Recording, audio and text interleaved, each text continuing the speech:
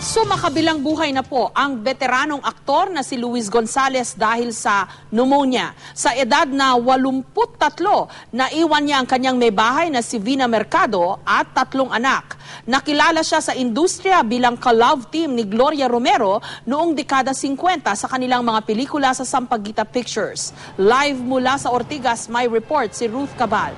Ruth.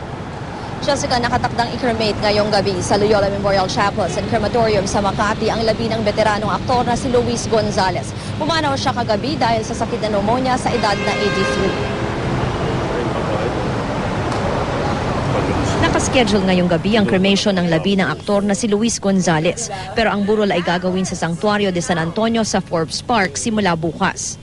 Si Gonzales ay sumikat noong dekada 60 bilang isa sa mga pangunahing artista ng Sampaguita Pictures. Kasama sa kanyang di malilimutang roles ang pagganap sa ilang pelikula bilang si dating Pangulong Ferdinand Marcos. Nakilala rin siya bilang ka-love team ni Gloria Romero na naging katambal niya sa mahigit 30 pelikula. Madaling araw kanina nang mabalitaan daw ng kaibigan ni Gonzales na si Herman Moreno ang pagpanaw ni Gonzales sa edad na 83 dahil sa sakit na pneumonia. Kwento ni Kuya Germs ang pagiging palabiro raw ng veteranong aktor ang naaalala niya rito. 2010 pa raw sila huling nagkita nang mabigyan ng bituin sa Walk of Fame sa Eastwood si Gonzales. Ay nako, during the time sa Sampaguita, makulit, mapagbiro, at talagang uh, siyang pet ni ng mga Vera Perez's during that time. Eh. Talagang ano, hindi nawawala yung uh, pagbibiro niya.